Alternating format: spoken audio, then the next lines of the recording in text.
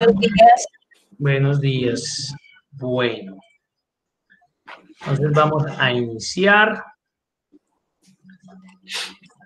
Ayer habíamos, señor.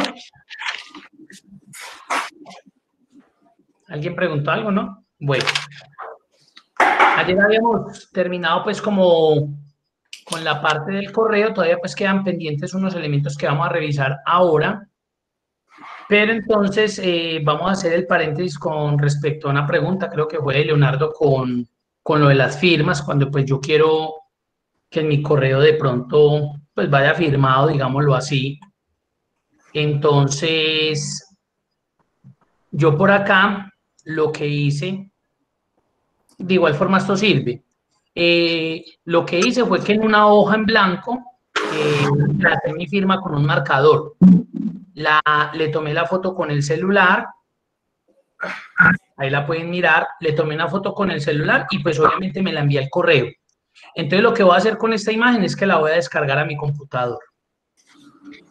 La voy a descargar acá en escritorio para que se den cuenta cuando quieran hacer firmas, que de pronto les exijan eh, que coloquen la firma pues, de ustedes ahí en algún documento.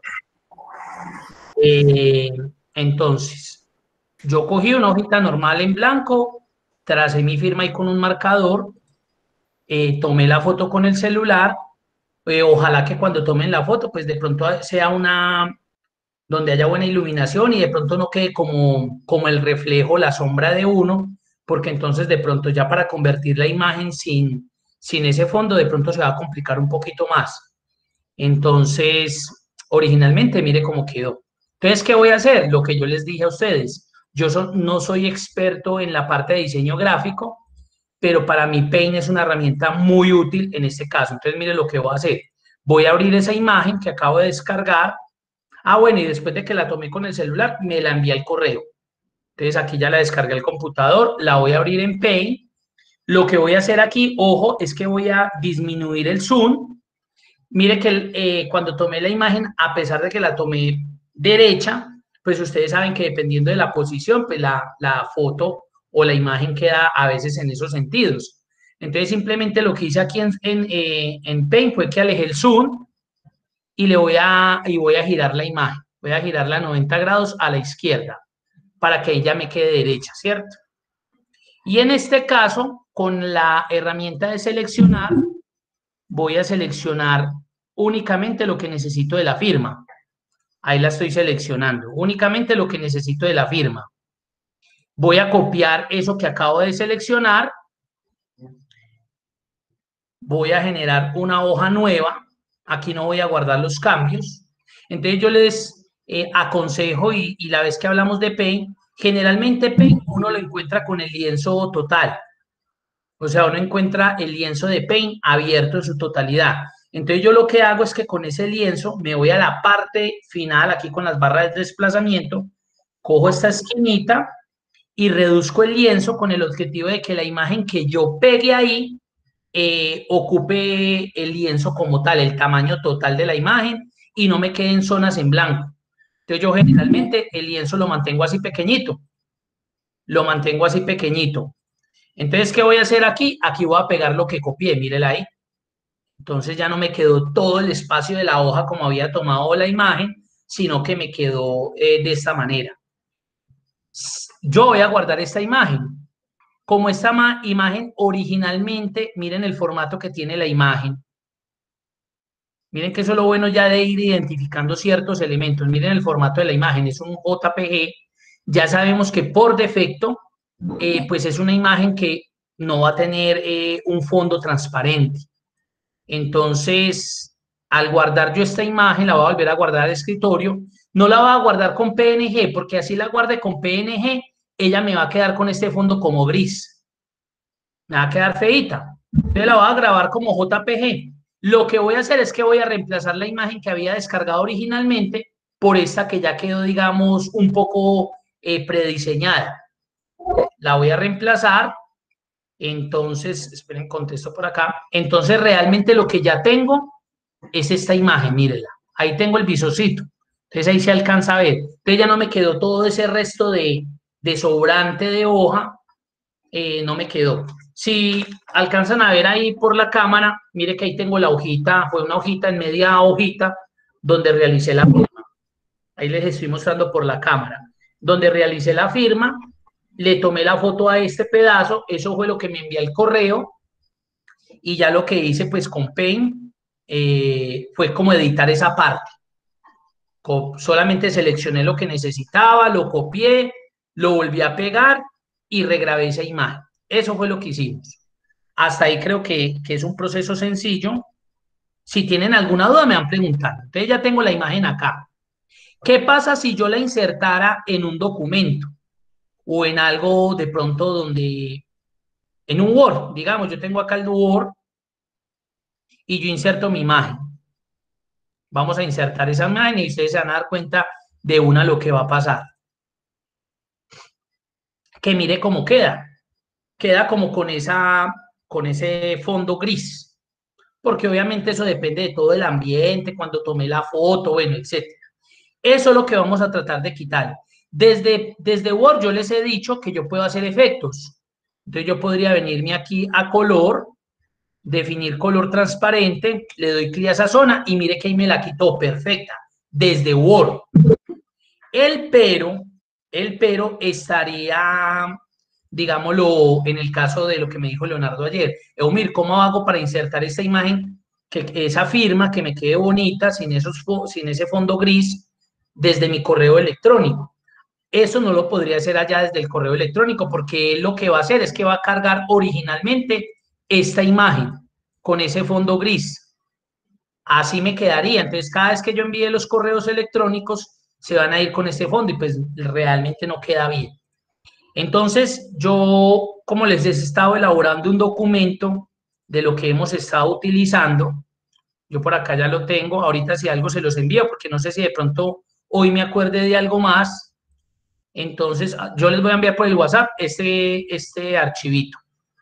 Entonces, sitios de confianza, entonces les coloqué, pues, donde pueden descargar el C-Cleaner, donde pueden descargar los compresores, WinRAR o WinZip, eh, los programas para conexión remota, pues nosotros vimos TeamViewer, pero está Supremo, que Supremo también es otro, otro programa para eh, conectarse remotamente. Por ejemplo, en este momento estoy utilizando Supremo porque TeamViewer ya me coloca limitante, me dice, no señor, usted no está utilizando TeamViewer con efectos eh, de, de una persona normal, sino como con efectos comerciales. Ellos automáticamente detectan eso, porque como yo generalmente me conecto a los equipos de ustedes o de, las, o de los clientes para poderles colaborar, entonces ya me está bloqueando, me da una conexión de un minuto y me saca. Entonces en este momento estoy utilizando Supremo, pero también está en IDEX, entonces ahí les dejé. El de el Acroba, entonces de dónde pueden descargar el Acroba. Ahí está, para realizar conversiones de archivo PDF, todos los sitios de confianza donde pueden hacer esas conversiones. Mire que si yo ingreso directamente, por ejemplo, a Small PDF, qué pena haber hecho otro paréntesis ahí, Mire que ahí tiene todas las opciones que tiene Small PDF, vea. Todo lo que pueden hacer. Editar un PDF, convertir un PDF a Excel, un Excel a un PDF, bueno, etcétera, etcétera. Ya hay la opción que necesiten. Comprimir un PDF, ¿sí? Entonces, así está. Yo les dejé el link directo. Luego tenemos por acá en el 6, descarga de imágenes en excelente calidad. Entonces, habíamos visto Pixabay, que es uno, entonces yo les dije ahí que ahí es un sitio para descargar imágenes en excelente calidad que se dieron cuenta, pero también está Amplash. Amplash es un sitio también muy bacano para descargar imágenes de muy bonita calidad. Bueno, estará funcionando, sí, ahí está. Amplash, bueno, está Pexels también, ahí se los dejé. Descargar imágenes en PNG, en PNG pequeñas. Entonces, aquí están son iconos, son iconografía que, le sirve a uno, por ejemplo, a mí me sirve mucho, por ejemplo, cuando voy a hacer eh, elementos, aquí, aquí hay que tener cuidado que las imágenes son pequeñitas, son vectoriales pues muy pequeñas. Entonces, si yo busco, por ejemplo, taxi, entonces son imágenes pequeñitas, pero que no tienen fondo. Entonces, ustedes la pueden descargar desde ahí. Miren el tamaño máximo. Hay unas que a veces son de 512, es el tamaño máximo pero son muy chéveres, por ejemplo, para las guías, porque no se van con fondos, ya van con la transparencia de una. Entonces ahí les sirve mucho para, para eso. Y bueno, y ahí entonces ustedes van a encontrar todo lo que de pronto hemos, hemos visto. Y acá en el punto 10 y 11 le agregué lo que vamos ya a, en este momento a, trabajar, que es, por ejemplo, crear la firma sin el fondo o quitarle fondo a imágenes que de pronto no encuentro en PNG, vienen con el fondo blanco, cómo se lo puedo quitar y, y, dejar la imagen ya convertida sin el fondo. Entonces, eso es lo que vamos a ver para continuar pues con lo del correo. Listo, yo ya descargué la imagen, ya la edité en el Paint o en el Paint, ya me quedó así. Ahora, entonces, vamos a abrir un sitio que se los coloqué ahí, que se llama vectorization.org. Ya les voy a mostrar para que les, les va a servir esta página. Entonces, aquí lo que hago es que en este sitio voy a cargar esa, esa firma. Miren, ahí la estoy cargando. La voy a, a seleccionar. Ahí me cargó con el nombre que yo la grabé y le voy a decir que inicie la vectorización de esa imagen. Entonces ahí tengo que esperar hasta que eh, de mi computador la suba por internet pues al servidor de ahí de una. Hay veces que se demora un poquitico más. Miren que aquí ya puedo identificar que de pronto esa transparencia gris como que ha desaparecido. ¿Qué es lo que va a suceder? Que le va a descargar la imagen en vectores. Entonces le va a descargar una imagen con el formato SVG, mírenlo ahí. Entonces ahí no hay problema. Entonces usted lo que hace es que le da clic al nombrecito que le está dando, él le dice que la descargue, yo la voy a descargar acá, otra vez al escritorio. Ojo, esos, esas imágenes con este tipo de extensión, SVG, eh, son, como son imágenes vectoriales, entonces generalmente uno las puede abrir a través del navegador. Entonces yo lo que hago, mire que ahí me dio el símbolo del Internet Explorer. Si yo le doy doble clic, él me dice, bueno, ¿cómo quiere abrir esas imágenes vectoriales, esas imágenes SVG? Voy a volver a dar clic aquí para que lo miremos. Mírenlo acá. Ah, véanlo ahí, SVG. Yo le voy a decir que me la habla con Internet Explorer, ahí no importa, con Google Chrome, con cualquier navegador, pero en este caso que me la abra con, con el Internet Explorer, mírela ahí. Ya esta imagen, el vector es que eh, lo que toma es, digamos, solamente lo que es el trazo. Entonces, realmente él me está guardando ahí el trazo, de, en este caso, de la firma. Entonces, lo que voy a hacer ahí, o como ya la abrí en el Internet Explorer, lo que voy a hacer ahí es que le voy a dar clic derecho sobre la imagen y le voy a decir que me guarde la imagen como. Guárdeme esta imagen como. Entonces, ojo, ahí es donde, esos son los truquitos. Es sencillo, pero son los truquitos. Usted no la va a volver a guardar con este formato. Ahí sí, usted le va a especificar que la necesita como PNG. O sea que la imagen ya le va a quedar con transparencia. Y aquí le voy a colocar el nombre. Por ejemplo, firma UMIR, un ejemplo. Voy a guardarla otra vez en el escritorio. Voy a reducir acá el tamaño para que la observemos.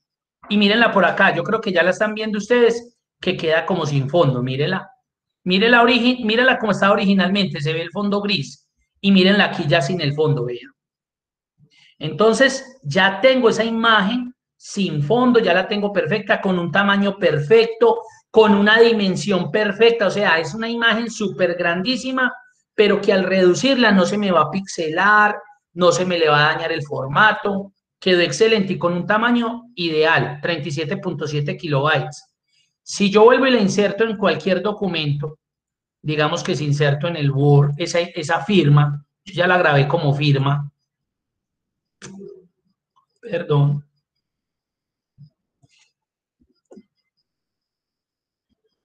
aquí firma, mire cómo llega, ya, esa imagen yo ya la puedo utilizar para lo que quiera, mire, ya llega transparente.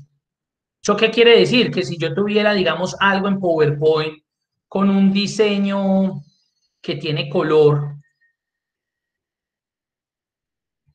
de fondo, por ejemplo, ahí, y yo quiero colocar mi firma por acá. Ah, bueno, pero esto es una presentación, creo que es.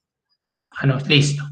Mire que lo que pasaría si inserto esa firma ya sin, sin el fondito. Ustedes ya se dieron cuenta que también cuando estuvimos trabajando con imágenes, mírenla, no me va a dañar absolutamente nada. Entonces yo voy a poder colocar mi firma Mire que como era el tamaño de ella original grandísimo, yo lo puedo reducir, no se me va a pixelar, no se me va a deformar, me está quedando perfecto porque no me está opacando el fondo o el diseño, a diferencia de la que inicialmente bajé. Mire cómo quedaría esa, horrible, horrible. Mire, no es lo mismo, mire. Entonces ya esa imagen me quedó vectorizadita, ya me quedó sin fondo. Mire. ¿A través de que De esta herramienta que les acabo de mostrar, que se llama vectorization.org, que ahí se las dejé en el documentico de, en el punto 10, en el documentico que les voy a compartir. Entonces, una página de confianza, una página gratuita, que lo que le va a permitir es que un tipo de esas imágenes le quede vectorizada y después de que esté vectorizada, usted ya va a poder guardarla en el formato PNG, que es el formato normal que tiene transparencia. Recuerden que todos los PNG no es que tengan transparencia, Debería hacerlo, pero no todos. Entonces aquí lo que hice fue que la convertí. Entonces ya tienen una imagen eh, que queda perfecta para crear la firma. Entonces ahí sí ya pasaría al correo electrónico, me iría a ver todos los ajustes. Estoy acá en la ficha general y acá donde puedo crear la firma, donde puedo crear la firma. Entonces si yo quisiera colocarla, simplemente me voy con el sitio donde la voy a crear, voy a decirle que voy a insertar una imagen, obviamente la tengo que subir primero al sitio, seleccionar un archivo, voy y la busco, firma UMIR, espero a que la suba ya al drive de, de, Gmail, ahí me la colocó, eso debe estar grandísima esa imagen. Venga, si me deja acá, véala ahí. Entonces aquí la selecciono y le digo que pequeña, Ahí está, o mediana. Listo. Y ya ahí se iría un ejemplo con la firma. Entonces simplemente sería guardar los cambios y cada vez que ya redacte un correo, ya viene con mi firma y viene con la transparencia. Ya no se va a ver ese fondo gris allá horrible, pues que, que realmente dañaría el efecto. O lo que ustedes quieran. ¿sí? No solamente podemos hablar de Señora. Una pregunta, es que veo en el documento que nos va a enviar que usted escribió pixlr.com. ¿Se puede usar ese programa también para hacer este mismo proceso? Claro, ya, lo, ya les vamos a decir que bien, vea usted, yo veo que ya como que lo ha utilizado también, podemos sí, utilizarlo. Hay que aprender para las imágenes. Sí, muy bien, ya lo vamos a ver, hacer una opcióncita de eso, claro que sí, también lo podría utilizar con el Pix. Sobre todo porque él de una vez lo pasa a PNG. Exacto, de pronto no tienen que dar tanta vuelta, eh, pero esta es una forma por si de pronto allá no le queda funcionando correctamente, entonces ustedes pueden vectorizarla por acá. Ya se dieron cuenta. Aquí obviamente mire todos los archivitos que creé. En definitiva, el que me sirve terminaría siendo este. Estos dos yo ya los podría eliminar y terminaría eh, con ese archivo final, ¿cierto? Listo. Entonces, mire, Leonardo, y pues todos, porque de igual forma eh, puede ser importante, eh, ahí queda. Mire, ahí ya podría usted crear su firma y queda bien diseñada, con, sin pues con, sin fondo, queda con transparencia. Entonces, digamos que va a poder hacer una buena presentación. No sé si le quede claro. Sí, claro, muchísimas gracias, mi amor. Bueno, señor. Aquí yo simplemente la voy a eliminar porque pues yo no firmo así. Listo.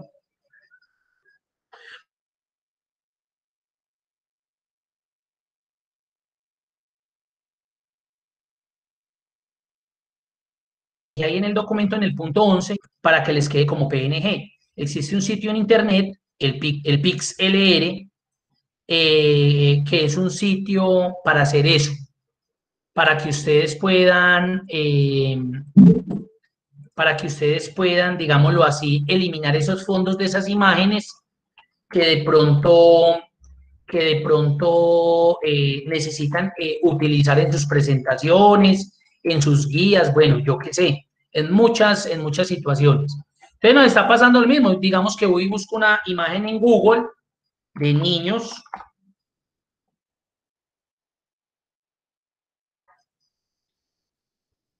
miremos a ver pues cojamos la de siempre, es esta. Entonces, originalmente la imagen ya saben que viene con ese, como con ese fondo. Quiero que solamente me quede la silueta. Ustedes saben que desde las herramientas ya de Word, de PowerPoint, de Excel, él trata con unas herramientas de eliminar esas, esos fondos, pero a veces no es tan eficiente, a veces no es eh, eh, tan efectivo. Entonces yo puedo emplear herramientas en Internet como Pixel, eh, PixXLR para hacer ese tipo de cosas de forma gratuita y digamos lo que de forma sencilla. Entonces lo que voy a hacer es que voy a descargar esta imagen, creo que ya la tenía, eh, guardar imagen como, la voy a guardar acá en el escritorio. Hubiera podido utilizar también la de la de la de la firma.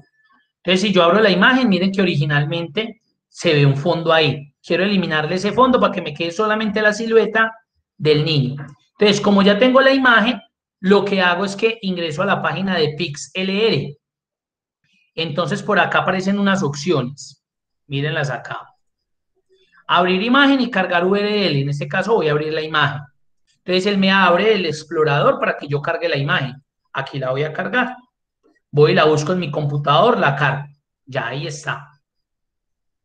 Él al lado izquierdo me coloca una serie de herramientas. No me pregunten, a mí me pregúntenme solamente sobre las tijeras, porque vuelvo y le repito, me da pena a veces que yo no les pueda colaborar en la parte como de imágenes, porque yo, yo quisiera hacer unas cosas con las imágenes, pero soy muy limitadito con eso.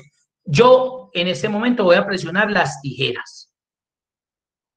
Entonces, desde las tijeras se despliegan una serie de herramientas que hace parte de ella.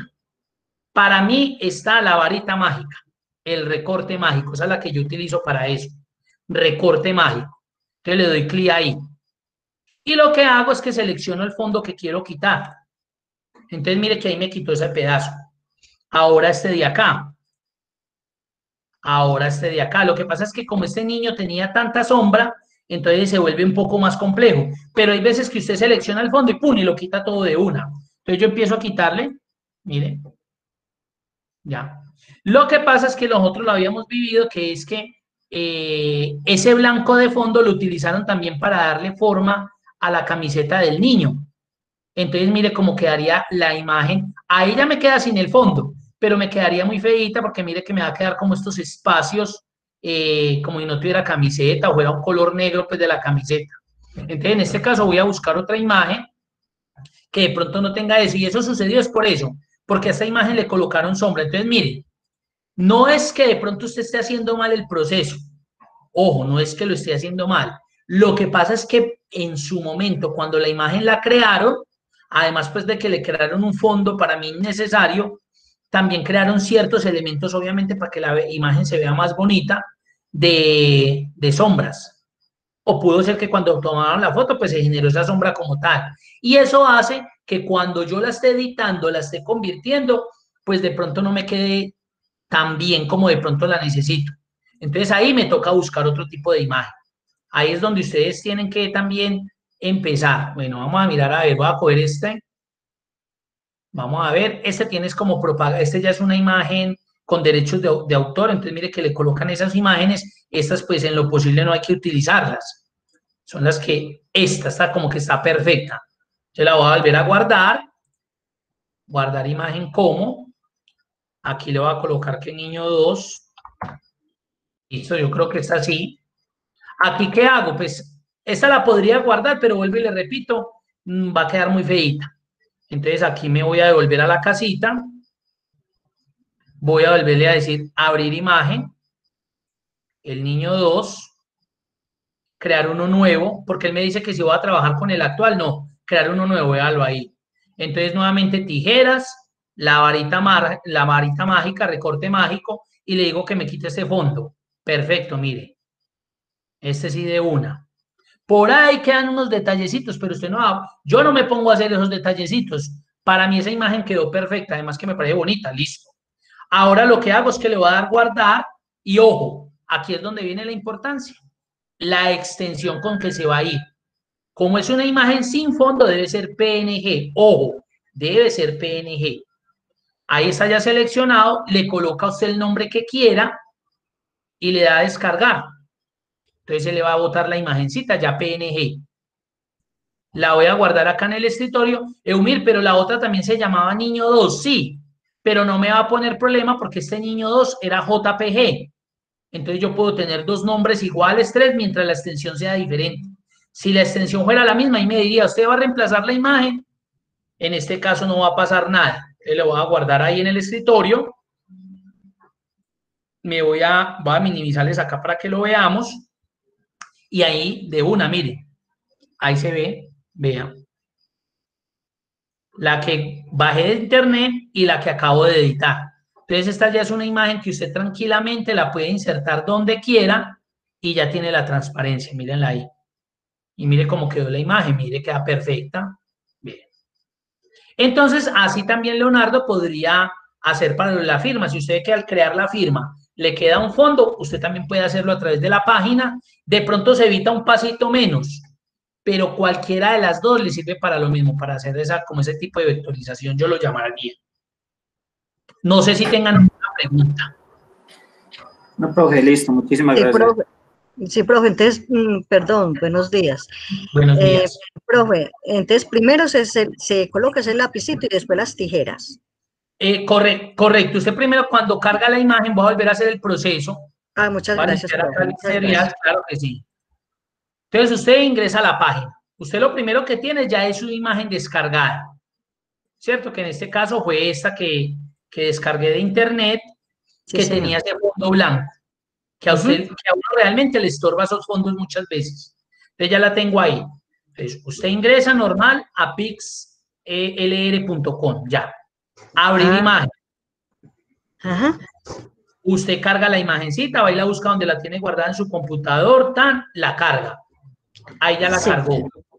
Presiona las tijeras para que despliegue las herramientas que hay dentro de las tijeras.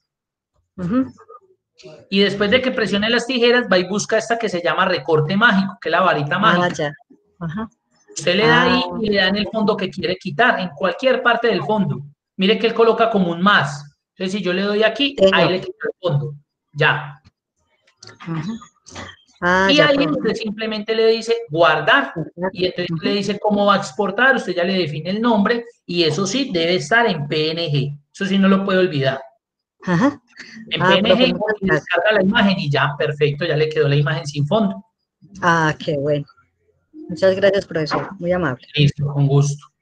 Bueno, entonces, eh, ayer estábamos mirando como esta parte de, de, de lo que tiene que ver pues como con la configuración de mi correo. Entonces, yo les mostraba que este elemento pues es lo que se conoce como importantes, aquí como los destacados. Los importantes es una herramienta propia de Gmail. Es una, una herramienta propia de Gmail. Es una herramienta propia. Yo puedo... Sí, Eh, buenos días, ¿cómo amanecieron todos? Bueno, me alegro. Profe, yo estuve haciendo el ejercicio, pero en Homemade y no pude conseguirlo de las estrellas. No sé si, pues, Ah, no- exacto. ah, para eso iba. Sí, no, Eh, esto es muy propio hice de otra cosa de la firma, hice otra vaina, pero...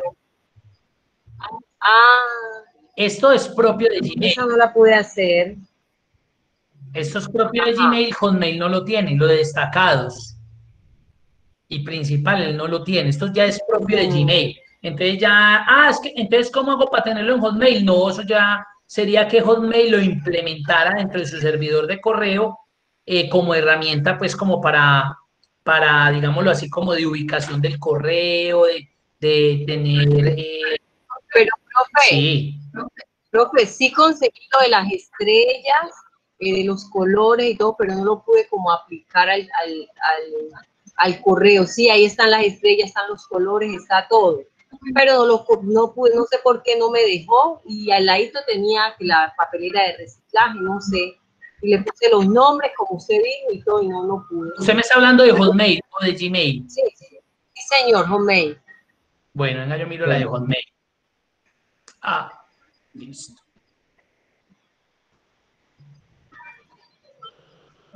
A cada color le di un nombre, eh, estudiante, personal y todo, y no, no me aplicó, no sé.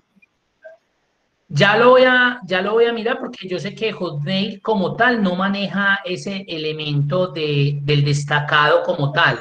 No sé si de pronto eh, tenga que uno activarlo pues para que lo coloque. Ya lo vamos a mirar. Y ahorita hacemos la comparativa entre esos dos. ¿Listo? Ah, ok. Gracias. Listo, con gusto. Entonces tenemos estas dos herramientas. Eh, estas son muy propias de Gmail. Vuelvo y les repito, esto es de Gmail como tal. Esta es la de prioritarios y esta es la de destacados. La que se maneja de forma manual es la de destacados. Yo se los decía ayer. Acá yo donde establezco el color, si quiero colocarle algún color en especial o si simplemente pues no lo quiero hacer, destacados. Y este de prioritario, eh, el que lo coloca es directamente Gmail. ¿Eso de qué depende? Obvio, si yo, por ejemplo, recibo un correo y yo veo que el de la persona que viene para mí es importante, yo lo puedo marcar. ¿Qué pasó cuando yo marqué este a Andrea Jiménez Vargas? Que automáticamente Gmail, dentro de su configuración, dentro de sus algoritmos, que eso es maravilloso, él ya va a tener en cuenta y va a ser un recorderis que para mí fue importante haberle dado la opción de importante a este correo. Entonces, muy seguramente, cuando Andrea me vuelva a enviar un correo, desde esa dirección a jiménez muy seguramente cuando me llegue a la bandeja de entrada va a llegar de una vez marcado. Pero no lo marqué yo. Gmail es el que se va a encargar de marcarlo. Porque es que Gmail es el que hace eso, no yo. Ya de forma manual, si yo veo que no lo marca, yo lo puedo hacer. Y puede pasar también que cuando yo reciba un correo venga con esto así y yo digo, eh, pero ¿por qué si yo no lo he marcado? No, no se preocupe. No es que usted lo marcó. Gmail cuando recibió ese correo, él pensó, creyó y de pronto en lo que usted ha hecho en el tiempo con la cuenta, él identificó que para, para él era importante ese correo, para mí en este caso. Entonces se lo marca. Pero si usted considera que no, usted le puede quitar. Y ya con eso también Gmail dentro de su, dentro de su configuración va a identificar que esa cuenta que está llegando no es importante, no es prioritaria. Entonces, en el momento en que vuelva a llegar, va a llegar como un correo así normalito. Ya no me la va, ya no va a llegar etiquetada. Entonces, entiendan que esta herramienta de prioritario es Gmail el que define directamente y propiamente cómo ha sido mi gestión frente a estas cuentas de correo que han llegado. Voy a hacer la prueba. Yo, por ejemplo, de acá desde mi correo personal de Hotmail, voy a, enviarme un correo a mi cena. Como yo a veces envío de un correo a otro, yo siempre marco los míos, eh, yo siempre los, eh, él los ha tenido en cuenta como prioritarios y además yo siempre les dejo como la opción de prioritario. Entonces voy a enviarme un correo. Ese es aepulido de arroba mi cena. Este es un mensaje de prueba. Listo. Lo voy a enviar. En el momento en que llegue acá, listo. Mire que me llegó no marcado. Entonces, y estos son míos, mírenlo, son míos. ¿Qué va a pasar? Como este es directamente de mi cuenta de correo, entonces, pues yo digo, ah, márquemelo, porque para mí son importantes, porque son de mi misma cuenta. Entonces, muy seguramente él ya dentro de la algoritmia de, Gmail, dentro de la configuración de Gmail, la próxima vez que yo envíe un correo, desde esta cuenta de correo va a llegar eh, marcado como importante. Él es el que define eso, no yo. Él es el que define. Entonces, este parámetro yo lo puedo tener activo o inactivo. ¿Desde dónde hago eso? Desde la configuración, desde las llanticas del piñoncito, ver todos los ajustes. Acá donde dice recibidos. Miren. Ah, bueno, y acá de una vez solucionamos algo. Eh, la profe ayer nos comentaba que ya en la bandeja de, entrada tenía activo esto, miren, social y promociones. Entonces, venga, voy a guardar los cambios. Y miren que si yo ya me voy a, a recibidos, miren que yo ya tengo tres pestañas. Principal, social y promociones. Entonces ahí era donde ella decía, no, Yo aprovecho estas tres pestañitas, ¿por qué? Porque cuando me llega todo lo que tiene que ver con redes sociales, él me llega acá. Entonces, si me interesa, pues yo selecciono y si no me interesa, selecciono y elimino. Y a principal, pues llegan los correos de diferentes destinatarios, tan normal. Y en promociones, pues generalmente es todo lo que es publicidad, que eso es lo que no me interesa. Entonces, para mí es más fácil llegar acá y seleccionarlos todos y eliminarlos. Entonces, mire que uno puede activar esas pestañitas también. Ya esos, mire que para ella se le facilita así. A mí no me gusta, a mí me gusta que todo llegue a principal. Entonces, yo por eso eh, desactivo estas opciones. ¿Desde dónde lo hice? Entonces me voy al piñoncito, ver todos los ajustes, en recibidos, y acá es donde limito esas opciones. Entonces, eh, estábamos hablando de la parte de los, de los marcadores de importancia, mírelos acá. Entonces, mire lo que dice. Mostrar marcadores. Muestra un marcador junto a los, a los mensajes marcados como importantes. O sea que cuando usted le llega un correo, si ya le llega con esto, es de pronto porque Gmail identificó que era de un buen sitio de confianza y él se lo marca. Si usted le quita esa marca, muy seguramente cuando le vuelva a llegar, ya le va a llegar sin esa marca. En el caso de un correo que llegó sin la marca, pero para mí es importante, yo lo puedo marcar y muy seguramente cuando yo vuelva a enviar otro correo, ya va a llegar con esa marca. Voy a hacer la prueba nuevamente. Yo marqué, voy a guardar acá el cambio para que me quite de la bandeja. No sé si los estoy enredando, si no me dicen ahí mismo. Mire que cuando yo envié este de este correo, que es mío, llegó sin la marca. Pero yo lo marqué porque pues para mí es un correo importante, además viene de mi, de mi correo. Voy a volverme a enviar otro, a ver si ya me llega marcado. Si ya Excel lo inter si ya Gmail, perdón, lo interpretó. Entonces este es prueba 2 y listo, se va a ir. Vamos a ver.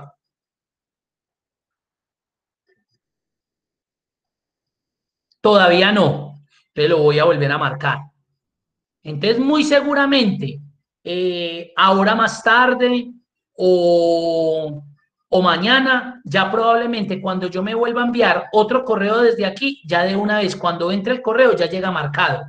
Porque él ha identificado que yo le estoy dando importancia a este correo que llega de ese remitente. El hecho de que yo lo marque significa que Gmail ya interpreta que la fuente de ese correo para mí es importante. Entonces, en el tiempo, cuando vuelva a llegar de ese remitente, ya me va a llegar marcado como importante. Entonces, eso es lo que quiero que comprendan. Esto no es obligación tenerlo, pero puede ser un elemento para que usted tenga, eh, digámoslo así, visualmente eh, esa conexión con esos correos que para usted realmente son importantes y de una vez que Gmail se los marque. Eso lo hace él desde su desde su algoritmo, desde cómo fue diseñado Gmail como tal, como servidor de correo. Yo ahí no puedo hacer absolutamente, ah, es que yo quiero que siempre no. Él es el que le va a interpretar según lo que usted haga en el tiempo con esos remitentes. ¿Sí? Con esos remitentes. Entonces, más adelante, de pronto mañana o la próxima semana, volvemos a revisar como para que nos acordemos y se van a dar cuenta que ya va a llegar marcado como importante. Pero yo también puedo quitar esta opción entonces eso era lo que estábamos. Entonces me voy a ver todos los ajustes en recibidos y acá aparece marcadores de importancia. Mire que yo le puedo quitar esa opción sin marcadores. ¿Listo? Mire lo que él dice. Correo de Servicio Nacional de Aprendizaje SEN analiza los correos que recibes y decide cuáles son importantes según varios factores. Por ejemplo, cómo has tratado los mensajes similares antes o si te lo han enviado directamente a ti. ¿Sí ven? Mire que es directamente Gmail el que toma esa iniciativa. Y eso depende de qué, de cómo usted se comporte con ese marcador. No, yo no quiero que, tener eso porque eso a mí me enreda. Ah, bueno, entonces le da sin marcadores, guarda los cambios y mire lo que va a suceder en la bandeja de entrada. Mire que ya no aparece esa paletica, ya me la quitó. ¿Sí ven? Ya me quitó la, la paletica de, de los marcadores de importancia. Ve. Entonces, cual sea el correo que llegue, el velo me lo va a recibir, pero de igual forma ya no me, ya no me coloca ese marcado. A mí generalmente me gusta porque pues yo tengo, eh, digámoslo así, eh, unos mensajes pues como importantes. Entonces, cuando yo le veo esa etiquetica, de una de forma visual, yo identifico que, que vienen de alguien eh, importante. ¿sí? No estoy diciendo que los otros no tengan importancia, sino que si llega, eh, es un mensaje que tengo que leer de una. Yo ya lo identifico así, pero miren que eso es algo ya muy visual. Y ya lo destacado era lo que yo les decía ayer, ya es porque yo quiero darle, ah, esto es eh, eh, trabajos de estudiantes, el que tiene la estrellita verde, ah, el que tiene la estrellita roja son trabajos de oficina, ah, el que tiene la estrellita eh, amarilla es varios, es porque usted ya los quiere destacar así. ¿Listo? Entonces yo creo que ahí hemos terminado lo que tiene que ver pues como con la parte del correo. Eh, yo creo que la otra semana comparamos ya las herramientas también para, porque yo sé que hay muchos de ustedes que no tienen Gmail, sino Hotmail. Entonces voy a mirar eso también de los destacados acá, a ver si hay que activarlo o no. Lo que hace eh, Hotmail en este caso eh, digámoslo así, de forma rápida. Yo no he cacharreado con destacados acá, nunca lo he hecho. Es que él, dependiendo de la persona que llegue, pues él asigna una iconografía, un color y, un, y una letra o dos letras para como para darle nombre. Eh, ¿Sí ven? Como para darle nombre al, al, remitente del correo. ¿sí? Entonces, digamos que ese es como el identificador que él maneja que tenga o no tenga esa opción de, de, de, esto de destacados de la estrellita, pues la profe dijo que por allá hizo algo, no la ha podido activar, puede que sí exista, por eso nunca les digo, no, eso no existe. Puede que sí, pero yo la desconozco, entonces la voy a, a estudiar este fin de semana y si la hay, claro que se las enseño porque yo también manejo Hotmail, yo tengo las dos cuentas, pero en Hotmail pues yo generalmente manejo pues ya yo me pego más pues como de, los servicios de Gmail, me gustan más los servicios de Gmail, pero no estoy diciendo que estos sean malos. Este también tiene una gama de servicios súper, mire, ahí está todo. Ahí está la hoja para hacer eh, documentos, lo de hoja de cálculo, lo mismo. Lo que pasa es que aquí se presenta como Office 365, Microsoft 365 y en Gmail pues ya es eh, documentos, hoja de cálculo, presentación pero este es poderosísimo porque yo puedo convertir en el formato de, Office, que es lo que ya vamos a mirar. No sé si hasta ahí eh, hay alguna pregunta, alguna duda, alguna inquietud con respecto de pronto a lo que hemos mirado. Profe. Señora. Recuerda la, la pregunta que yo le hice ayer de cómo agrupar varios correos. Uy, claro que sí, claro que sí.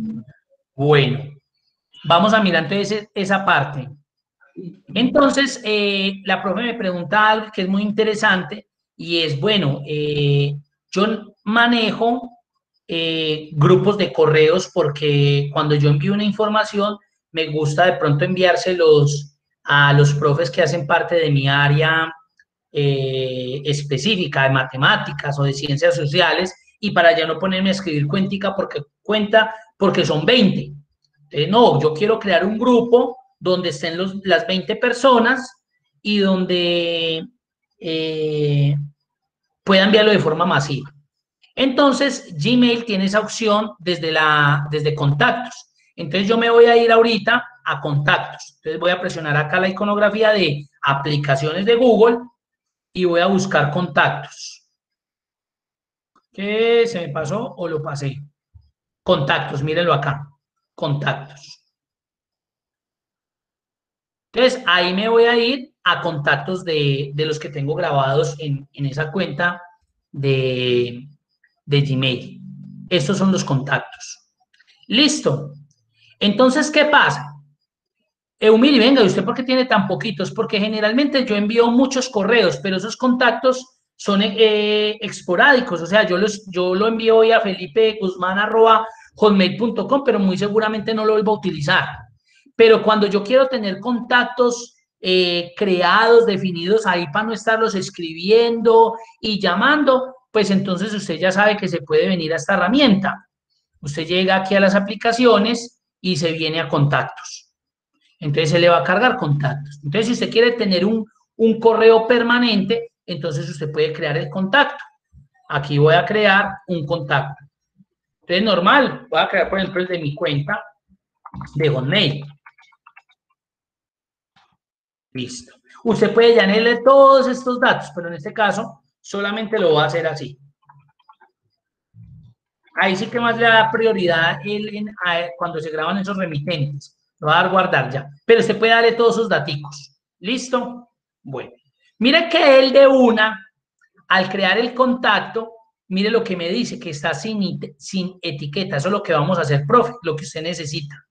Las etiquetas son los agrupamientos que yo puedo dar. Entonces yo voy a cerrar acá. Y acá mismo en contactos, mire que hay un elemento que se llama es que etiquetas. Las etiquetas, haga de cuenta que es como una carpeta donde usted mete varios contactos. Entonces, ¿qué es importante de la etiqueta? Que usted le defina un nombre correcto para que cuando usted lo invoque aquí, en la redacción del correo, usted sepa quién es. Ah, el Departamento de Ciencias Sociales. Usted ya mira qué nombre le da, pero que cuando usted lo llame, él arrastre todos esos. Entonces, yo lo que voy a hacer aquí como para la prueba es que voy a crear otro contacto, la otra cuenta mía. Usted ya sabe que obligatoriamente usted tiene que tener los contactos creados. ¿Ya? Ese es lo primero que usted tendría que hacer, es crear los contactos. Para poderlo luego vincular a una etiqueta.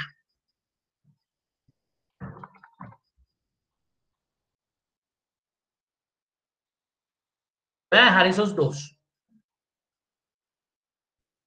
Entonces, digamos que voy a crear una etiqueta que se llame amigos.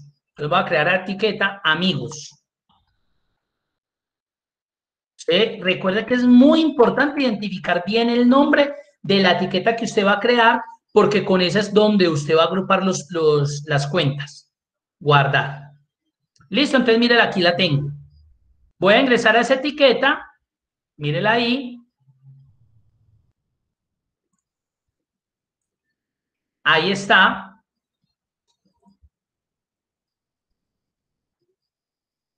Ah, bueno. Ve, mira que esto se hacía desde que no lo había hecho. Aquí generalmente me presentaba la, la opción de vincular de una los, pero aquí vea, mire que eso es una ayuda. Ellos cambian de pronto la forma visual, pero entonces mire que acá está. Acá generalmente aparecían los contactos, yo podía seleccionar los contactos, los contactos que quería agregar a esta etiqueta, pero acá me dice no hay ningún contacto en esta etiqueta, le va a dar acá y mire cómo me muestra. ¿Cómo etiquetar contactos? Mire que él mismo le da las ayudas. Cuando ellos hacen cambios visuales, recuerden que Gmail siempre va a colocar la ayuda. Entonces no se dejen llevar de la apariencia, porque uno a veces cuando ingresa, ay, me cambiaron eso, no, qué horrible. Y mentiras que no, ellos le dejan la ayuda ahí. Entonces mire lo que le dice. Vea tu lista de contactos, selecciona los contactos que quieres etiquetar, bueno, más fácil. Y en la barra de herramientas selecciona el icono administrar etiquetas, listo. Entonces, ¿qué voy a hacer? Me voy a ir a los contactos que tengo, mírelos ahí. Entonces, cuando me paro en él, mire que aparece una opcioncita de selección. Entonces voy a etiquetar estos dos que son los que quiero que pertenezcan a la etiqueta amigos. Y él dice que venga y busque un icono acá que se llama gestionar etiquetas, véalo ahí. Entonces selecciono los contactos que quiero agrupar. Entonces en este caso solamente estos dos, esta cuenta y esta cuenta, porque vamos a verificar que si llegue. Le voy a decir gestionar etiqueta, esto cambió. Y yo le digo que quiero que queden vinculadas a amigos. Listo, apúntate. Ya. Si yo vengo a amigos, mire que automáticamente en amigos ya me está diciendo que hay dos. Si yo voy a esa etiqueta, pues ahí están. Y ya aquí, desde aquí, ya los podría eliminar si yo quisiera. Ahora sí, ve. Listo. Si de pronto ya no hace parte de mis amigos. No, este man ya no es amigo mío. Tan, y lo elimino. Listo. O ya el profe se fue para otra área, para otro departamento. Sí, estaba en matemáticas y lo pasaron a naturales, yo qué sé, porque a veces suele suceder eso. Entonces lo puedo mover. Listo, ahí tengo. Me voy a ir para el correo. Entonces le voy a enviar un correo a mis amigos. Entonces ya en, vez de ponerme a escribir la dirección de cada uno de ellos, voy a escribir la etiqueta que se llama amigos. Véala ahí. Y él me muestra quiénes están allá. Pues ahí no me alcanza a mostrar todos, pero me muestra y amigos. Y mire que me llame los cargó de una, profe, de una. Entonces, si usted tuviera 20, pues, ahí le van a cargar los 20 correitos de una. Entonces, si yo ya hago la prueba, lo envío. Entonces me voy a venir acá al correo Hotmail y acá ya tuvo que llegar a no ser que haya llegado a correo no deseado. Creo que llegó a no deseado. No. Todavía no ha llegado, esperemos. Y mientras tanto voy a cargar en el otro navegador. eh, en el otro navegador voy a cargar la cuenta de... Ah, bueno, la voy a abrir acá mismo, para que me abra dos cuentas acá. Ah, ¿no lo había enviado? Sí, ya lo envié. Venga, verifiquemos que lo haya enviado. En enviado se da cuenta uno de eso. Sí, aquí se fue para los dos, perfecto. Voy a abrir otra cuenta aquí, que es la personal.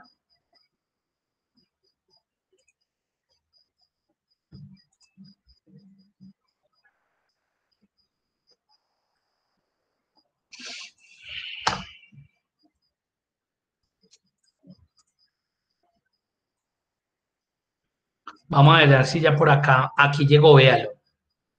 Mire, ya llegó el de allá, el de pulido de arroba mi cena, ya llegó. ¿Sí ven? Ya llegó al primero, que era este de Hotmail, y pues vamos a revisar que haya, y ya llegó al de Gmail, míralo acá. Ya llegó. Ahí llegó. Sí, profe, entonces mire que esa es una forma sencilla de agrupar correos para que usted no los tenga que escribir manualmente, pero sí tiene la obligación, digámoslo pues así entre comillas, que eso suena muy feo, de usted primero tener la lista de sus contactos acá creada para luego poderlos etiquetar. Si es claro o alguna inquietud, No, profe, muy claro. Una pregunta. señor. ¿Por qué en algunos correos llega a correo no deseado? Correcto, mira que pues eso es algo que uno a veces lee mucho y uno no entiende eh, por qué el correo como tal identifica un correo que de pronto ha tenido una característica válida de que lo lleve de una vez a bandeja de entrada. Suele suceder que muchas ocasiones, por ejemplo este, que es un, contrato que hay de las cuentas corporativas de, de SENA, las cuentas de estudiante y cuenta pues de población eh, estudiantil del SENA con, con Google. Entonces, ¿qué es lo que hace? Que estos servidores lo que hacen es que antes de que eh, llegue ese correo, cuando el correo llega, él lo que hace es que es una, hace una verificación. Así es como trabajan los servidores de correo. Entonces, él realmente, cuando encuentra estos dominios, él puede identificar dos cosas. Una, que viene propiamente de una persona en especial o posiblemente pueda venir de un grupo, de un grupo que tuvo una cuenta. Por ejemplo, cuando hablamos del grupo comunicaciones, cuando hablamos, hablamos del grupo audiovisuales, que generalmente terminan siendo correos eh, como este. Ah, creo que lo eliminé. Nosotros recibimos muchísimo correo. Venga a ver si lo tengo todavía por acá. Estos, miren. Que es de comunicaciones, cena-comunica, arroba mi cena. Entonces, ¿qué pasa con los servidores de correo? Que él ya, el hecho, esto lo, está enviando de UMIR, pero él ya no lo toma como si lo estuviera enviando UMIR, sino como si lo estuviera enviando eh, una dependencia o alguien como aviso publicitario, como información. Entonces, por eso es que no se lo lleva directamente a bandeja de entrada, sino que lo colocan en correo no deseado. Entonces, es por esa razón que uno le dice a las personas, por favor, siempre revisen correo no deseado, porque muchas veces esos correos que nos llegan del ministerio, de la secretaría, generalmente no llegan a la bandeja de entrada, a no ser que yo ya haya grabado el contacto como tal, específico. Cuando yo grabo el contacto como tal, ya tiene la posibilidad de que el correo, como ya sabe que lo tengo en contactos, él dice, ah, para él es un correo importante, entonces no se lo va a llevar a, a spam o a correo no deseado, sino que se lo llevo de una vez a su bandeja de entrada. Pero la situación es por esa. La situación se presenta generalmente es por ese tipo de, de correos que se generan a través de estos dominios que son publicidad. Miren, a mí me llegan muchísimo. Yo hay algunos que los leo, hay otros que no. Entonces, por defecto, el de una PUN, el, servidor de correo dice, no, no, esto puede ser publicidad, así sea de UMIR. Pero como él no identifica tampoco quién es UMIR, ni lo va a identificar, no. Él identifica es el dominio, arroba micena.edu.co, ¡ja! Esto maneja mucha publicidad, entonces, pum, se lo lleva a correo no deseado. Como para evitarle a usted eso, de que usted eh, se canse de recibir en su bandeja correos de publicidad, que a veces fallan con eso también, porque, porque queda, uno a veces se pone, no, no me ha llegado el correo, y uno se olvida a veces de la bandeja de correo no deseado. Y mentiras que ahí están los correos. Así me pasó con unos cursos de Excel. Yo envié una solicitud y como lo envié de mi cena, a todos les llegó a correo no deseado. Fueron muy poquitos los que alcanzaron a recibir, a revisar y a darme respuesta. Y sucedió fue por eso. Entonces yo siempre que envío un correo a través de o escribo por el WhatsApp, por favor siempre verifiquen el correo no deseado y la bandeja de entrada. Pero eso de Leonardo generalmente se presenta por eso. Ya, profe, y ahí le puede decir uno que ese es correo pues, normal para que le siga llegando a la bandeja. Sí, usted le puede decir aquí, no es un correo no deseado, y entonces él se lo mandó allá a la bandeja de entrada. Pero si yo vuelvo y lo envío, él vuelve y me lo manda para allá. Entonces, ¿qué es lo que me toca en definitiva? Agregarlo como un contacto.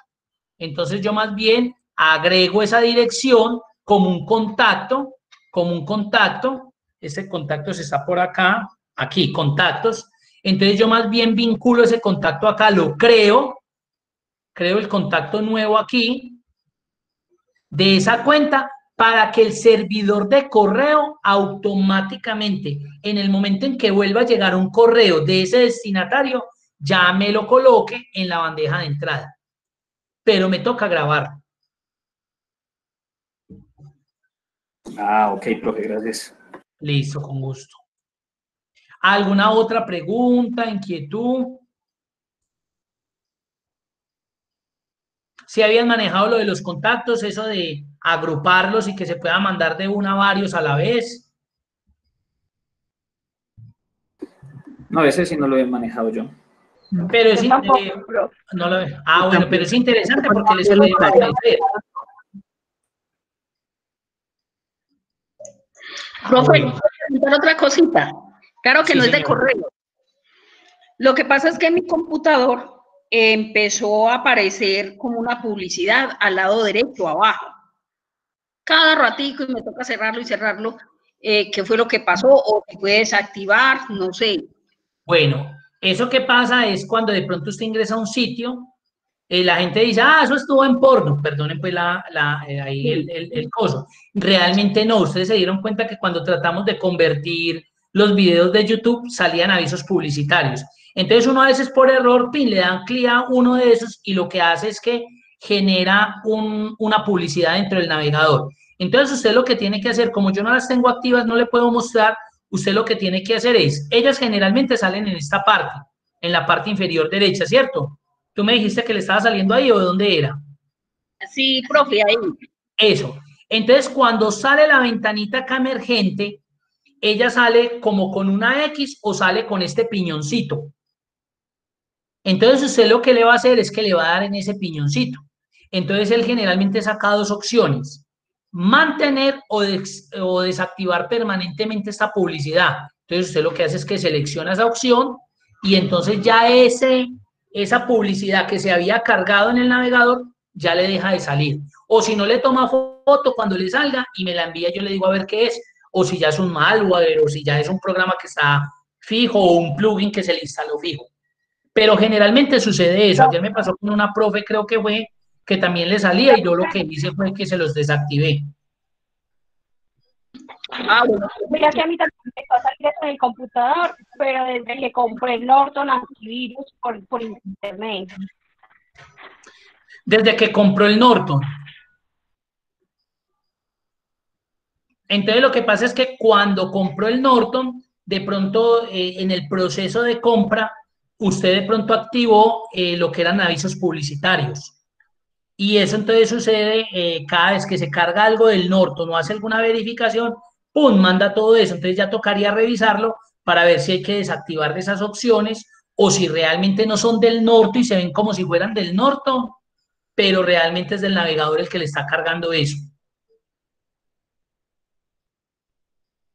Egna, usted me ah, había hecho una pregunta qué pena que no había mirado eh, acá la, el, el, el chat. Me dicen, en formato, ¿cuál es la opción de la transparencia? Eh, la PNG. La PNG. Pero recuerde que el hecho de que yo guarde algo, sí, dígame, Ina. No, sino en Word. En Word estaba viendo Ah, las herramientas Perfecto, y no listo. encuentro la de la transparencia.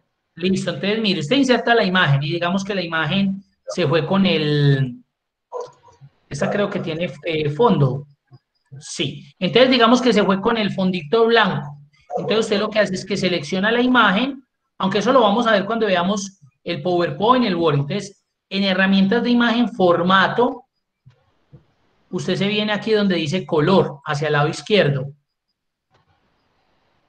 y aquí aparece la herramienta definir color transparente. Ah, ya, ya, ya, perfecto. Y ahí ya usted le da en el, en el fondito, le da un clip y entonces lo que hace es que le mata ese, ese fondo, trata de matarlo al 100%. Hay veces que es efectivo, hay veces que no. Entonces más bien toca convertir las imágenes cuando yo veo que por esta herramienta no se puede hacer. Perfecto. Y tengo otra consulta, es que estaba haciendo lo de la firma y hago, eh, envío el correo de prueba para ver si aparece y no sé qué pasos es que me falta porque no me aparece. ¿No le aparece qué? La firma en, la- en los correos. No le está apareciendo. Usted llegó, ingresó acá a ver todos los ajustes, ¿cierto? Hasta ahí Sí. va bien. Llegó acá la firma, Ajá, entonces usted se ubicó donde quería la firma. sí. le dio aquí en insertar la imagen. Ah, pero no, o sea, no, yo no es que le- esa firma no, sino que no me aparece esa información que escribí ahí en los correos que me envío. No le aparece que eh, no le está apareciendo esta firma. Exacto, esa información que puse ahí no me aparece. Bueno, entonces usted ya está aquí en esta configuración. Sí, Entonces le está apareciendo aquí. Usted le dio mi firma, ¿qué nombre le colocó cuando la le creó? puse mi nombre. Listo, entonces dele donde dice, eh, usted, pues aquí está, eh, aquí aparece el listado de todas las firmas que tenga. En este caso está seleccionada esta y ¿qué le está apareciendo en este cuadrito de acá? Ahí aparece la información que yo puse, sí, Y le está apareciendo bien. sí. Listo, entonces baje hasta el final y vuelva a dar, no sé si se le activó guardar cambios o no está, ina- o está inactivo. Sí, también está activo. También le guardar cambios. Eso, dele guardar cambios. Ya le diste. Sí, sí, Listo. yo he hecho todos esos pasos. Perfecto, ya le diste redactar y no está cargando. No, ¿En serio no te carga nada? pues a mí no me aparece nada en, el- en mi, o sea, yo me envié un mensaje como de prueba para ver cómo había quedado y no aparece nada. Profe, a mí también me decís exactamente lo mismo. Yo llené toda la información y mando mi, mi correo de prueba y no aparece nada. Se la envían a otra cuenta de, de correo Sí, o a la misma. a otra cuenta de correo. Vamos a Ah, hacer la no, prueba. Yo me la envié a mí misma. Entonces, Puede. Puede que oculte la firma por ser la misma cuenta, voy a hacer la prueba, no lo he hecho, pero sí puede Ah. tener como lógica, voy a mirar a ver. No, voy a mirar a ver, me la va a enviar acá mismo, vamos a ver qué sucede. Acá me llegó, pero mire que sí, él debería de una vez como, mire que a mí me la cargó de una. Claro, sí. Sí, no, tendría lógica de que la ocultara, pero también mm, tiene la lógica de por qué no la debe ocultar, la debe mostrar, ¿cierto? Como tal. Entonces, si quiere, ahorita nos quedamos y revisamos a ver si de pronto es alguna. Bueno, y otra cosa, cuando le da redactar, eh, ella sí te, estás, te está pareciendo normal. Sí. Ya. Ve, raro, raro. Porque pensé que no le cargaba la firma aquí. Sí. Bueno, ahorita entonces. Ahorita lo miramos, sí. En un momentito Gracias. ya vamos a finalizar, entonces miramos esa parte. Gracias. Listo.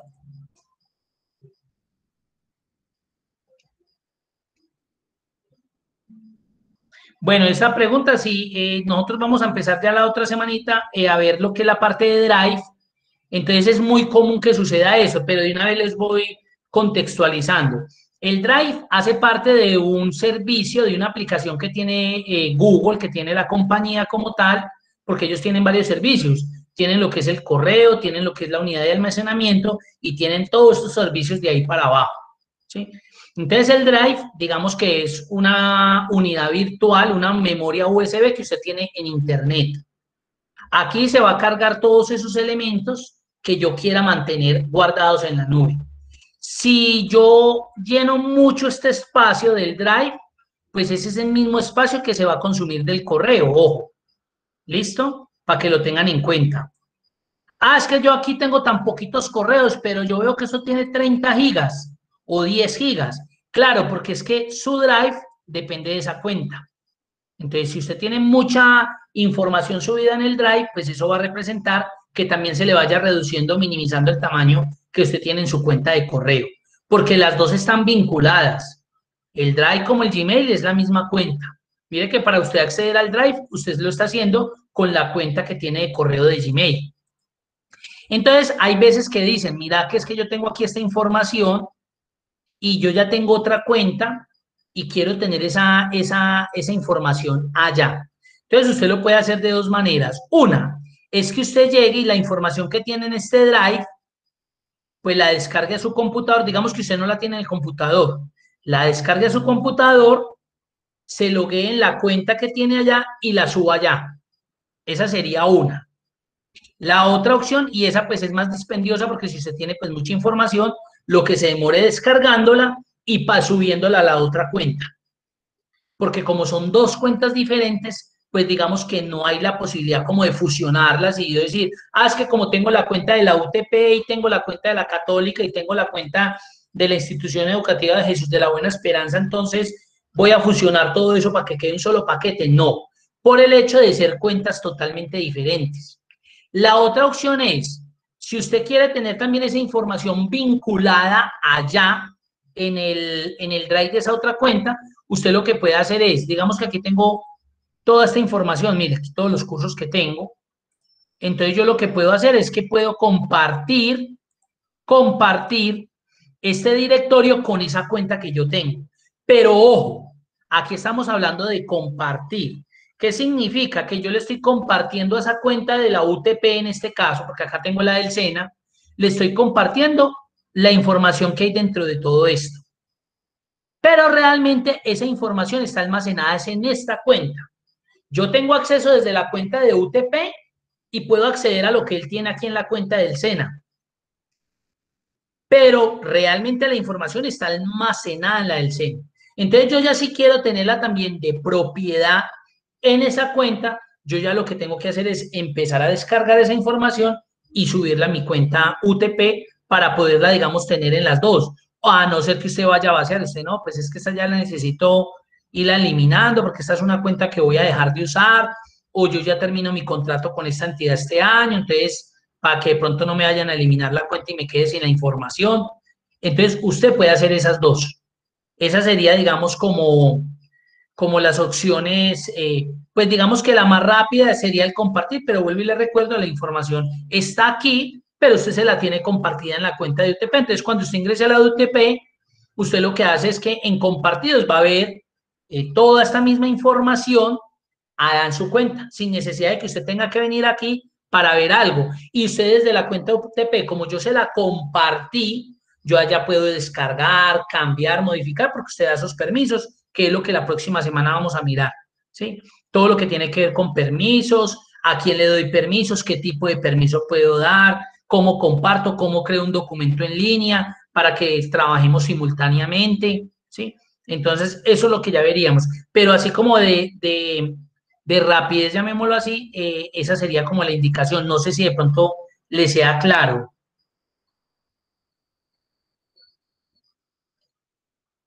Eh, Listo, sí, esas serían Mariluz en este caso, como digamos, como las dos opciones como para tener en cuenta.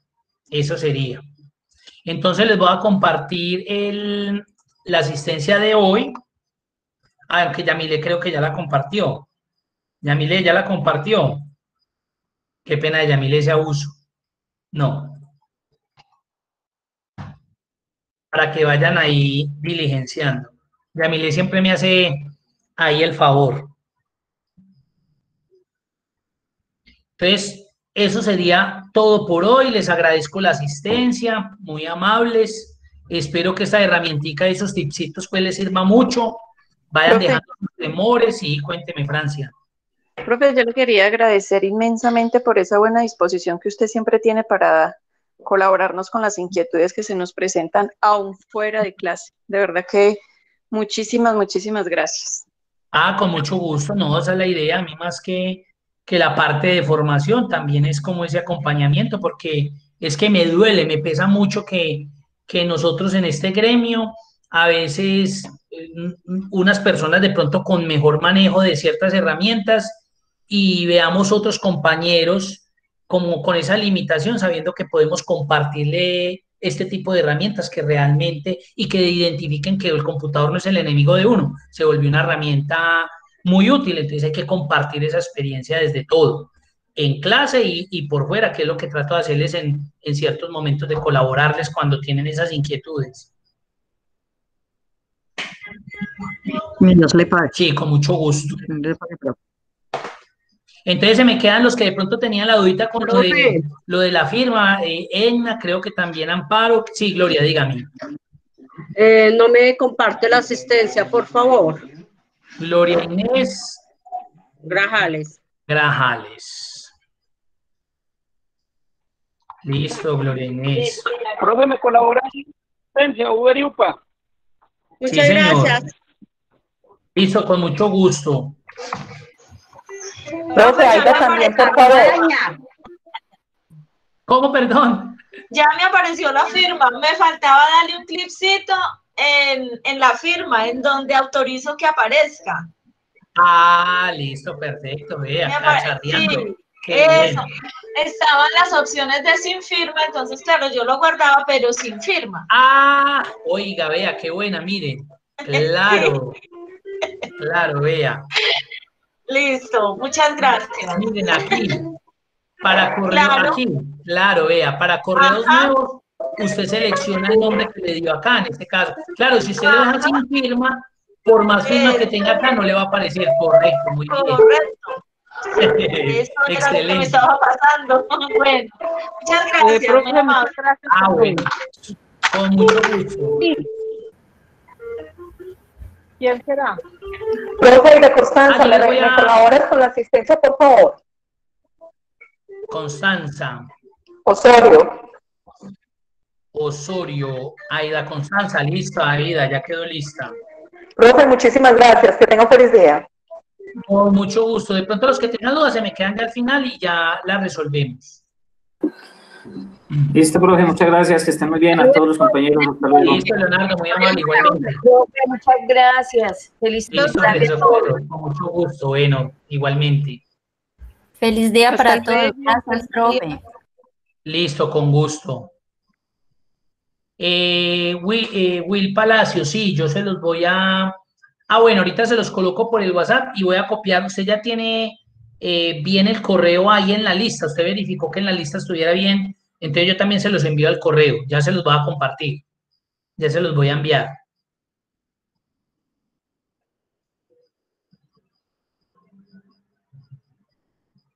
Listo, con mucho gusto, Rosa. Sandra, Marta, claro que sí. Jenny. Bueno.